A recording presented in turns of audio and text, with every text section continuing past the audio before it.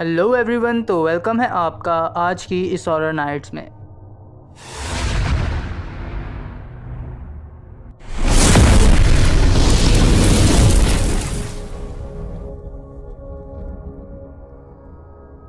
तो दोस्तों, क्या आप लोगों के साथ ऐसा हुआ है कि सोते हुए आपकी आँख खुल गई हो, लेकिन आपका जिसम कोई रिस्पॉन्स ना दे? मानो जैसे आपका जिसम पैरालाइज हो गया हो, और ऐसा महसूस हो कि जैसे किसी ने आपको ना नज़र आने वाली रस्सियों से बाँध दिया है, और आपको बहुत ही डरावने ख्वाब आते हैं, और आपकी आवाज़ तक नहीं निकलती, और आपको महसूस होता है कि जैसे किसी ने आपको जकड़ लिया है। और फिर आप अपनी उंगली तक अपनी मर्ज़ी से हिला नहीं पाते। आपको अपनी चेस्ट पर वज़न महसूस होता है।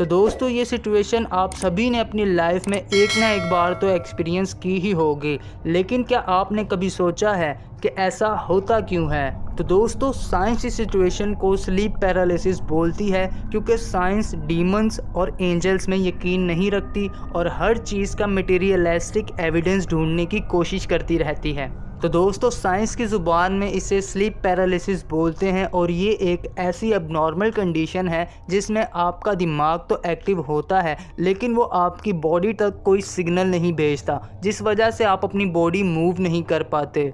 अब स्लीप पैरालिसिस के पेशेंट से पूछताछ के वक्त पता लगा कि हेलोसिनेशन के दौरान हमें ऐसा महसूस होता है कि जैसे कोई ईवल एंटिटी हमारे आसपास है या हमारी चेस्ट पे बैठी हुई है।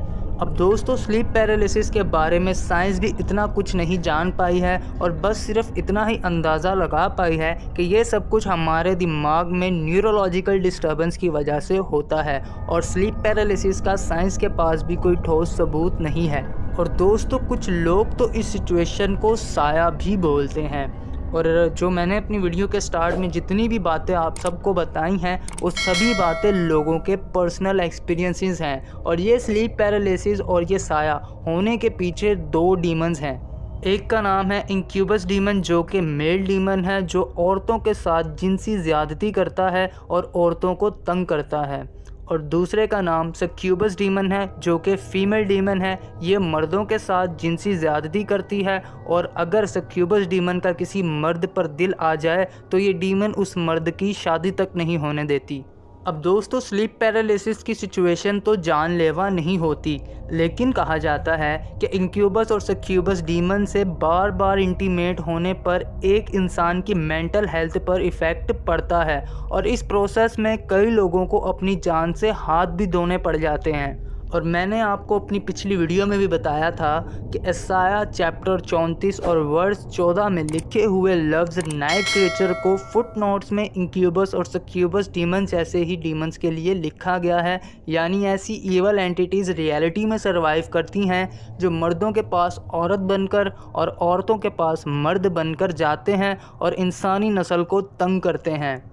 तो दोस्तों, इस चीज़ का तो आप लोगों को भी पता ही होगा कि डीमंस जो हैं, वो शेप शिफ्टिंग होते हैं। वो कभी आपके सामने मर्द की सूरत में आते हैं, कभी औरत की सूरत में आते हैं, या कभी किसी जानवर की सूरत में आते हैं। क्योंकि डीमंस अपनी रियल फॉर्म कभी रिवेल नहीं करते। इसी वजह से डीमन शेप शिफ्टिंग करके आपके पास आते हैं, और इन शैतानी डीमंस को, इंसानों को तंग करके बहुत ही मज़ा आता है। तो दोस्तों, मेलियस मेलिफिकेरम के मुताबिक हम पाँच तरीक़ों से इंक्यूबस और सक्यूबस जैसे डीमंस के अटैक से बच सकते हैं। Number one exorcism number two sacramental confession number three the sign of cross number four victim को किसी दूसरी जगह पर शिफ्ट कर देना। और number five attacking evil entity से एक्स कम्युनिकेशन करना, जो कि एग्जॉर्सिज्म का ही एक हिस्सा है। अब दोस्तों, ये डीमंस ज़्यादातर उन्हीं लोगों पर अटैक करते हैं जो लोग पोर्नोग्राफी बहुत ही ज़्यादा देखते हैं या किसी को देखकर लस्ट करते हैं या अपने दिल में किसी के लिए हमेशा बस लस्ट ही रखते हैं। ये डीमंस ऐसे ही लोगों पर ज़्यादातर अटैक करते हैं या कोई विक्टम जो है बहुत ही खूबसूरत होता है या दिखने में अट्रैक्टिव होता है तो तब जाकर ये डीमंस ऐसे लोगों पर अटैक करते हैं। अब दोस्तों मैंने अपनी ज़िंदगी में कभी भी स्लीप पैरालिसिस एक्सपीरियंस नहीं किया है, लेकिन मेरे कुछ फैमिली मेंबर्स हैं जो स्लीप पैरालिसिस एक्सपीरियंस कर चुके हैं, और मैं आपको यही मशवरा दूँगा कि सोने से पहले आप लाजमी प्रेयर किया करें और अपना माइंड क्लीन रखें, और जब आपका ईमान मज़बूत होता है तो कोई भी ईवल एंटिटी आप पर अटैक नहीं कर सकती। तो दोस्तों, आप अपना बहुत बहुत सारा ख्याल रखिएगा। Thank you